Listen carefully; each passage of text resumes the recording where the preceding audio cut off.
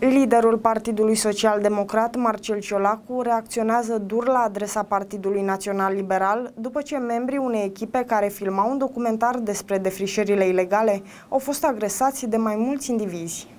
Marcel Ciolacu, președintele PSD, acționează dur împotriva guvernului care și-a bătut joc de țara noastră. Președintelui PSD îi se pare inadmisibil faptul că jurnalistul și regizorul Mihai Dragolea a fost bătut crunt în Coșna, județul Suceava, în timp ce filma un material despre tăierea ilegală din păduri. Colegul lui Flutur, ministrul Bode, se face că nu vede agresiunile tot mai violente ale celor care taie sistematic pădurile țării. În guvernarea Câțu, o gașcă fără scrupule a ajuns la putere pentru a se îmbogăți bogății jefuind țara, în vreme ce românii care caută dreptatea sunt secretați fără milă de interlopi, a declarat Marcel Ciolacu pe pagina sa de Facebook.